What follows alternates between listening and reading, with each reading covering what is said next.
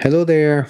Uh, so the following is a recording of an improvisation using the Tetrax and the Mood very interesting combination. Um, I love the Tetrax by Ciat-Lonbarde. It's a really expressive, very organic, always surprising uh, instrument. And the Mood pedal by Chase Bliss is also extremely like creative, interesting. And in both cases, I can't claim to be a specialist. I am really uh, only starting to scratch the surface and discover uh, what these devices can do.